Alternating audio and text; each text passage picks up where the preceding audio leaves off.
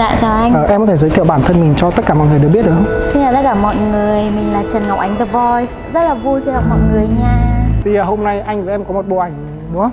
Dạ. Thì em có thể chia sẻ một chút về, về cảm xúc của ngày hôm nay được không? Dạ. Ừ. Thì ờ, đây không phải là lần đầu tiên mà anh ờ, được đi chụp chung với cả anh Thắng mà cũng đã hai ba lần rồi mặc dù là không nhiều nhưng mà anh cực kỳ cái sự chuyên nghiệp của anh từ giờ giấc cho đến phong cách chụp ảnh của anh. Anh cũng có thể là kiểu ờ, tạo dáng cho bạn mẫu hoặc là bạn chụp ờ, để cho mọi người có những xuất hình thật là đẹp nhất và đấy là điều mà anh cực kỳ hài lòng từ anh Thắng làm việc cực kỳ chuyên nghiệp và nhiệt tình.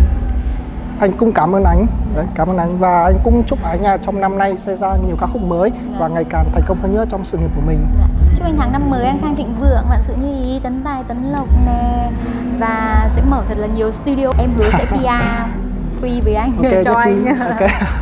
ok nhất trí nhé. Cảm ơn anh rất nhiều nhé.